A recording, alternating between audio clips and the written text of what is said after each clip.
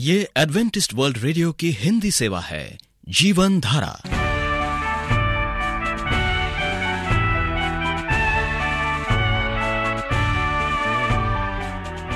कार्यक्रम जीवन धारा सुनने वालों को प्यार भरा नमस्कार। एडवेंटिस्ट वर्ल्ड रेडियो की हिंदी सेवा की ओर से हम आपका स्वागत करते हैं। आइए, आपको इस 30 मिनट में प्रसारित होने वाले कार्यक्रमों की जानकारी दे दें। आज बच्चे कहानी सुनेंगे कहानी के बाद एक गीत और फिर कार्यक्रम के अंत में पवित्र शास्त्र यानी बाइबल से परमेश्वर का वचन होगा तो श्रोताओं आइए बच्चों की कहानी सुनने से पहले इस गीत को सुनते हैं आत्मा आ भी जा तेरा सामा मुझको दे तेरी शक्ति मुझको दे पवित्र आत्मा।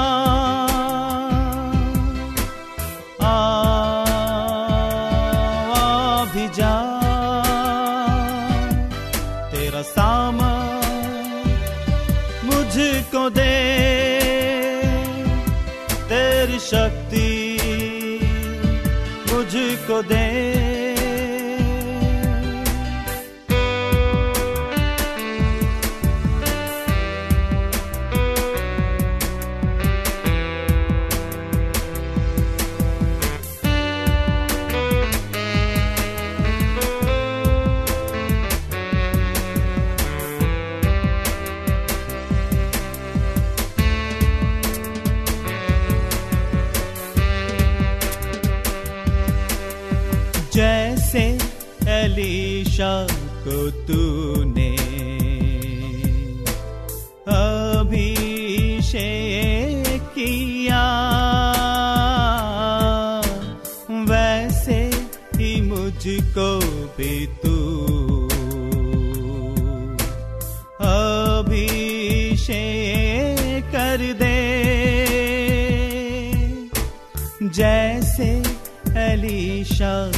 को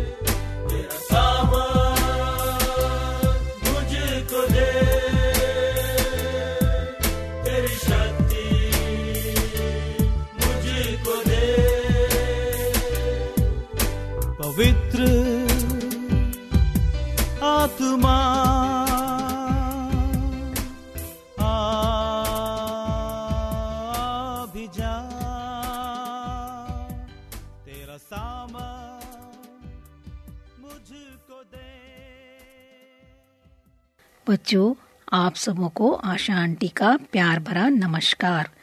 आज मैं आपके सामने एक और नई कहानी के साथ उपस्थित हूँ। बच्चों, आज हम तारों के बारे में सीखेंगे। बच्चों, पवित्र बाइबल ज्ञान का भंडार है, क्योंकि इसे परमेश्वर की प्रेरणा से लिया गया है। जैसा कि तुम लोग जानते हो, भजन संहिता तैतीस अध्याय छठे पद में लिखा है आकाश मंडल यहुआ के वचन से और उसके सारे गण उसके मुँह की श्वास से बने हैं। सचमुच में परमेश्वर ने अपना वैभव आकाश में दिखाया है। भजन संहिता तैतीस अध्याय छठवें पद देखने में कितना छोटा लगता है, परंतु इसमें कितनी महानता चमत्कार भरा हुआ है। हम अपनी नंगी आँखों से लगभग तीन हज़ार तारे आकाश में टिमटिमाते हुए देख सकते हैं, जिन्हें हमारे परमेश्वर ने अपने मुँह की सांस से बनाया है। पैट्रियाक्स एंड प्रॉफिट नामक पुस्तक में पृष्ठ तिरसठ में स्पष्ट किया है कि प्रभु यीशु तारों की सैर करते हैं और अपने विशाल और विस्तृत ग्रह के रहने वालों की आवश्यकताओं की पूर्ति करते हैं। परमेश्वर ने दिन पर प्रभुता करने के लिए सूर्य को बनाया और रात पर प्रभुता करने के लिए चंद्रमा और तारागणों को बनाया। परमेश्वर की महिमा का हम अनुमान भी नहीं कर सकते। तुम लोग यदि बड़े बड़े शहरों में रहते हो तो परमेश्वर की इस महिमा का पूरा आनंद नहीं ले सकते, क्योंकि शहरों की तेज बस्तियाँ हमें आकाश की ओर निहारने में सहायक नहीं होती। फिर शहर का प्रदूषण वातावरण को इतना धूमिल कर देता है और हम तारे भी स्पष्ट नहीं देख सकते हैं। चांदनी रात क्या होती है, उसका आनंद तो किसी ऐसे गाँव में जाकर ही लगता है, जहाँ बिजली की रोशनी नहीं है। परमेश्वर ने रात पर शासन करने के लिए चाँद और तारागणों को बनाया है। हम तभी समझ सकते हैं, गाँव वाले तारों को देखकर रात में समय और दिशा का ज्ञान करते हैं। परमेश्वर ने हमारे लिए कितने आश्चर्यजनक तरीके से व्यवस्था की है और फिर इतने सारे ताराग्रहण हैं, उनकी गति और दिशा का निर्धारण भी स्वयं परमेश्वर करता है, वरना वे आपस में टकराकर एक भयंकर आसमानी दुर्घटना को जन्म देंगे। परंतु ऐसा नहीं होता। हाँ हमारी पृथ्वी पर आए दिन कितनी भयंकर दुर्घटनाएँ होती हैं। बच्चों यदि हम किसी बड़ी प्रयोगशाला में बैठकर बड़ी बड़ी दूरबीनों से इन तारों को देखें तो पता चलेगा कि ये तारे हमें बहुत कुछ बताना चाहते हैं। दाऊद अयूब इब्राहिम यशाया और आमोस आकाश के तारों को निहारा करते थे और उनसे बहुत कुछ सीखा करते थे। अमोस अपनी पुस्तक के पाँचवें अध्याय और आठवें पद में कहता है कि परमेश्वर ने सत्तर ऋषियों को बनाया और मृग शिया नामक तारे बनाने वाले हैं, जिसे औरायन कहते हैं। दाऊद अपनी पुस्तक भजन संहिता एक अध्याय के चौथे पद में कहता है कि परमेश्वर सभी तारों की संख्या और उनके नाम भी जानता है। लगभग दस हज़ार तारे जो अधिक चमकीले हैं, हमारी पृथ्वी से देखे जा सकते हैं। और आधुनिक शक्तिशाली कैमरों से तीस करोड़ तारों के चित्र लिए जा सकते हैं। कोई भी तारों की ना तो संख्या जानता है, न उनके नाम, सिर्फ़ परमेश्वर ही, जिसने उन्हें अपने मुँह की सांस से बनाया है। भजन संहिता, उन्नीस और पहला पद तो तुम अच्छी तरह जानते हो। आकाश ईश्वर की महिमा का वर्णन करता है और आकाश मंडल उसकी हस्तकला को प्रकट करता है। सचमुच में जब हम आकाश की ओर निहारते हैं, असंख्य जगमगाते तारों को देखते हैं, हम परमेश्वर की महिमा को सोचने पर विवश हो जाते हैं। विश्वास होने लगता है कि इनका बनाने वाला अवश्य परमेश्वर के सिवाय और कोई नहीं है। यशाया चालीस अध्याय, छब्बीसवें पद में इसी महिमा को देखकर कह उठता है, अपनी आँखें ऊपर उठाकर देखो। किसने इनको सिरजा वह इन गणों को गिन गिन कर निकालता है। उन सबको नाम लेकर बुलाता है। अयुब की पुस्तक का अड़तीसवां अध्याय, इकतीसवां पद पढ़ो। उसमें तुम्हें ढेर से तारों के बारे में ज्ञान होगा। जैसे ओरायन प्लिएट्स जो खूबसूरत तारों का गुच्छा है, जो टॉरस नामक तारों के गुच्छे के पास है। ओरायन, हम जो प्रभु के आगमन की प्रतीक्षा कर रहे हैं बहुत महत्वपूर्ण है, क्योंकि श्रीमती वाइट को जो प्रभु ने दर्शन दिया था, उसके अनुसार पवित्र नगर इसी ओरायन से उतरेगा। बच्चों, यदि तुम ओरायन को आकाश में नहीं खोज सकते हो तो किसी जानकार से पूछना। यह अक्टूबर के महीने में पूर्व की ओर ऊपर देर शाम तक देखा जा सकता है। इसकी पहचान है, जैसे कोई शिकारी अपने कंधे पर तलवार लटकाए हुए है। अयुब की पुस्तक के अड़तीस अध्याय बत्तीस पद को पढ़ो। यहाँ सभी राशियों का संदर्भ दिया गया है। मती की पुस्तक चौबीसवा अध्याय भी तारों के अध्ययन के लिए बहुत महत्वपूर्ण है। उत्पत्ति की कहानी हमें बताती है कि इन तारों का एक खास काम है, वह है चिन्ह बताना। प्रभु के जन्म के विषय में जो बुद्धिमान लोगों को एक तारे ने मार्गदर्शन दिया था, उसे पूर्ण दिशा से यरूशलेम तक पहुँचाया। प्रभु ने अपने आने की भविष्यवाणी करते समय तारों के चिन्ह को बताया है, जो मती के 24 अध्याय 29 पद में लिखा है, उन दिनों के क्लेश के बाद तुरंत सूर्य अंधेरा हो जाएगा और चाँद का प्रकाश जाता रहेगा और तारे आकाश से गिर पड़ेंगे और आकाश की शक्तियाँ हिलाई जाएँगी। बच्चों, आज हमने पवित्र बाइबल से तारों के विषय में बहुत कुछ सीखा। अब जब कभी तुम लोग अपनी छत पर या बिस्तरों पर लेटे आकाश की ओर निहारो तो मत भूलो। इनका बनाने वाला भी हमारा ही सृष्टिकर्ता परमेश्वर है। ये तारे हमें परमेश्वर के बारे में बहुत कुछ बताते हैं। इन तारों का अध्ययन का शौक पैदा करो। इन्हें जानने के लिए अपनी स्कूल की लाइब्रेरी से पुस्तकें लाकर पढ़ो। या अपने शिक्षक जिन्हें तारा मंडलों का अच्छा ज्ञान है उनकी सहायता लो। याद रखो, इनका बनाने वाला हमारा परमेश्वर है। कितनी महान रचना है उसकी। दाऊद, अब्राहम यशाया अयूब आमोस के समान तुम भी तारों का अध्ययन करने वाले बनो। आप एडवेंटिस्ट वर्ल्ड रेडियो का जीवन धारा कार्यक्रम सुन रहे हैं। यदि आप यीशु के जीवन और उनकी शिक्षाओं या फिर स्वास्थ्य विषय पर पत्राचार द्वारा अध्ययन करना चाहते हो तो हमें इस पते पर लिखें voice of prophecy 11 Hailey road Nai Delhi, एक एक शून्य शून्य शून्य एक इंडिया श्रोताओं, इससे पहले कि हम परमेश्वर का वचन सुने, आइए ये गीत सुनते हैं।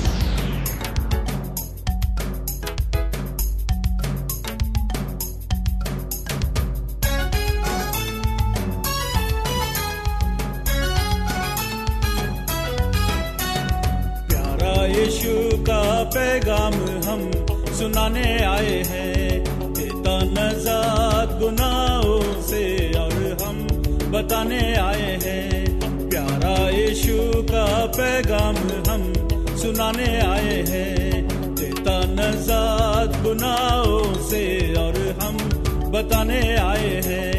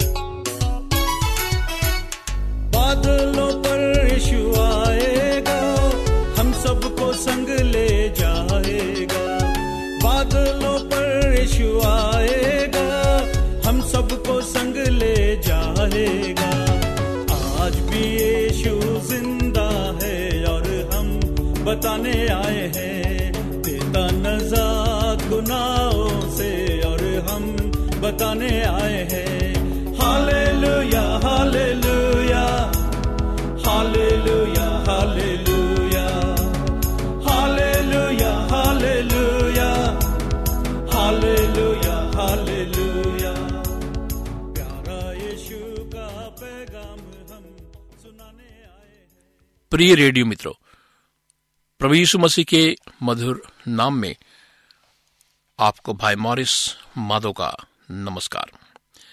मित्रों, परमेश्वर हमारा शरण स्थान है। शरण स्थान वो जगह है जहाँ पर भागकर एक व्यक्ति विपत्तियों से, जोखिम से, दुख और समस्या से बच सकता है। मनुष्य का जीवन दुखों, कष्टों और जोखिमों से भरा है। उसे एक सरल स्थान की आवश्यकता है, जहाँ वो सुरक्षित रह सके, शांति महसूस कर सके। आज मनुष्य को किसका डर नहीं है? जंगली पशुओं से तो ही, परंतु आज एक मनुष्य दूसरे मनुष्य से खतरा महसूस करता है। फिर हम जोखिम के समय किसके पास जाएँगे? बाइबल में ऐसे शरण स्थान का चित्रण है, जहाँ लोग शरण लेकर बच सकते हैं। परमेश्वर ने इज़राइलियों के लिए, मूसा को और बाद में यहूसू को यह प्रबंध करने को कहा कि देश में शरण स्थान ठहराया जाए। जो कोई भूल से बिना जाने किसी को मार डाले वो उनमें से किसी शरण नगर में भाग जाए। इसलिए वे नगर खून का पलटा लेने वाले से बचने के लिए तुम्हारे शरण स्थान ठहरे। वहाँ पर फाटक पर से वो पुर्नियों को अपना मुकदमा कह सुनाए और वे उसको अपने नगर में अपने पास टिका ले और उसे कोई स्थान दे जिसमें वो उनके साथ रहे। यदि खून का पलटा लेने वाला उसका पीछा करे तो वे ये जानकर कि उसने अपने पड़ोसी को बिना जाने, पहले उससे बिना बैर रखे मारा, उस खूनी को उसके हाथ में ना दे। परमेश्वर हमारा शरण स्थान है। स्वयं परमेश्वर हमारा शरण स्थान ठहरता है। शरण नगर के व्यवस्था के लिए परमेश्वर ने मूसा को आज्ञा दी थी। परंतु मूसा ने अपनी मृत्यु से पहले दिए आशीर्वाद में इज़राइलियों को कहा, अनादि, परमेश्वर तेरा शरण स्थान है। व्यवस्था विवरण तैतीस, उसका सत्ताईस पद। दाऊद ने भी अपने भवन में कई बार यही कहा। कुछ वचनों पर ध्यान करें। भजन संहिता में लिखा है, परमेश्वर हमारा शरण स्थान और बल है। भजन संहिता बारह दो में लिखा है, वो मेरा गढ़ है। हे हुआ मैं तेरा शरणागत हूँ। हे ईश्वर, मेरी रक्षा कर, क्योंकि मैं तेरा शरणागत हूँ। भजन संहिता सोलह उसका एक पद। दाऊद अपने शत्रुओं से बचने के बाद यही गीत गाता था। यह हुआ मेरी चट्टान और मेरा गढ़ और मेरा छुड़ाने वाला है। मेरा ईश्वर मेरी चट्टान है, जिसका मैं शरणागत हूँ। आगे दाऊद कहता है, क्या ही धन है वह पुरुष जो उसकी शरण लेता है। भजन संहिता चौतीस, उसका आठ पद। मित्रों, दुख, विपत्ति, संकट, रोग, या मृत्यु के समय हमारा शरण स्थान परमेश्वर ही है। वही सबसे निकट रहने वाला सहायक है। इसलिए हम उसे पुकारे, संकट के समय में आप किसका आश्रय खोजते हैं? परमेश्वर ने अपने पुत्र को इस जगत में भेजा कि लोग उसके द्वारा उद्धार पाए। प्रभु सारे जगत के लिए शरण स्थान है। जो कोई भी उस पर विश्वास करेगा, वो नाश नहीं होगा। उसने कहा, हे सब परिश्रम करने वालों और बोझ से दबे लोगों, मेरे पास आओ मैं तुम्हें विश्राम दूँगा।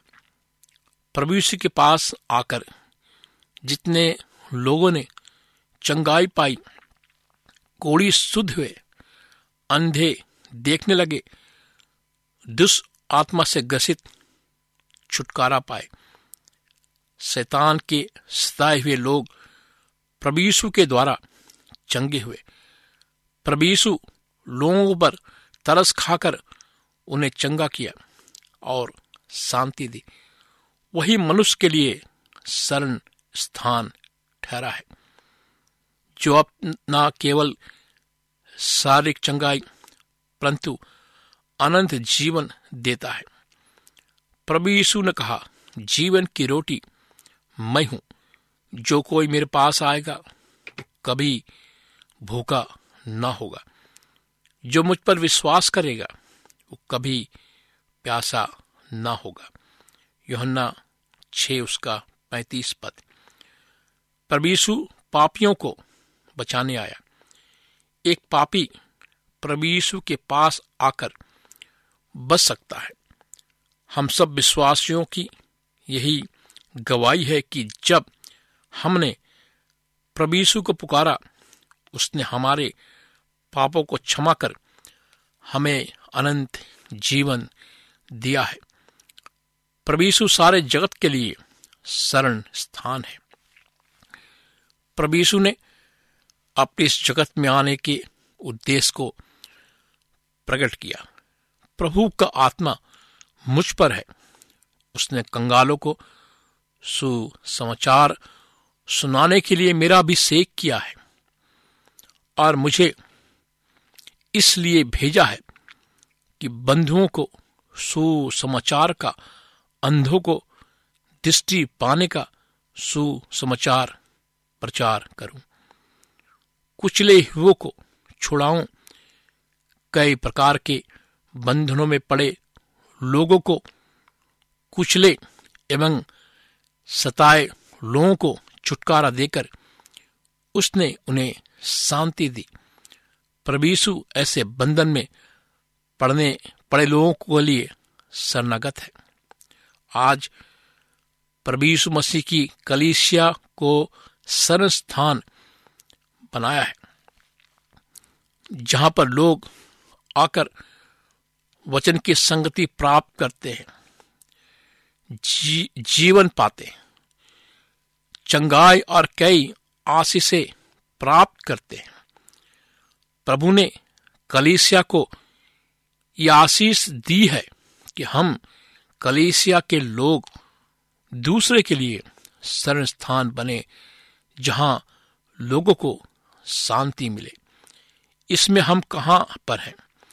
क्या हमारे जीवन, परिवार या कलिसियाओं से लोगों को शरण या आश्रय मिल रहा है?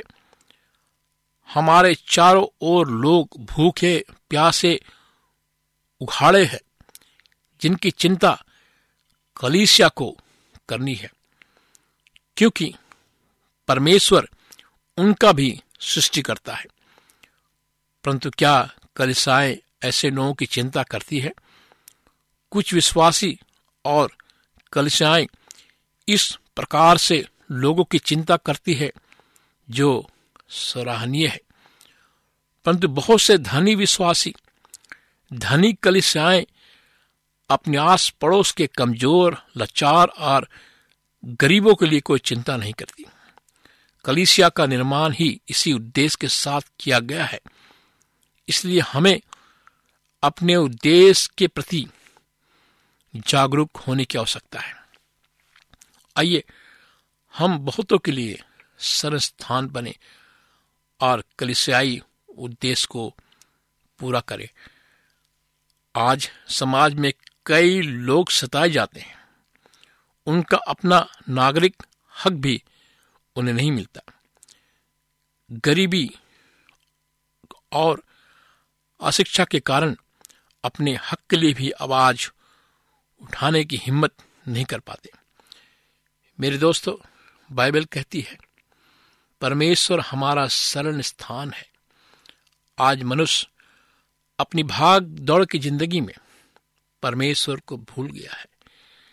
लेकिन परमेश्वर उन सबको पुकारता है, कहता है, हे, बोझ से दबे हुए लोगों, मेरे पास आओ, मैं तुम्हें विश्राम दूँगा। क्या आप प्रभु यीशु मसीह के पास आना चाहते हैं? विश्राम पाना चाहते हैं? परमेश्वर आपकी रक्षा करेगा।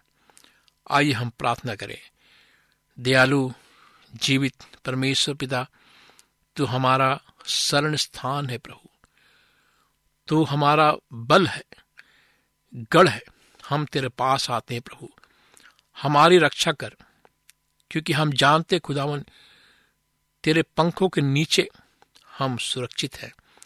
हम सुनने वाले श्रोताओं के लिए प्रार्थना करते खुदावन, कि तू उन्हें हरेक बंधन से छुड़ा अगर वो कुचले हुए खुदावन सताए हुए हैं तो उन्हें छुटकारा दे, उन्हें शांति दे।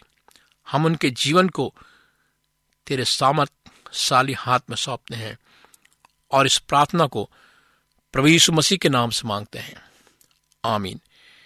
मित्रों, आप हमें इस नंबर पर कभी भी किसी भी समय फ़ोन कर सकते हैं, बात कर सकते हैं, प्रार्थना करवा सकते हैं। मेरा नंबर है नौ छ आठ नौ दो तीन एक सात शून्य दो।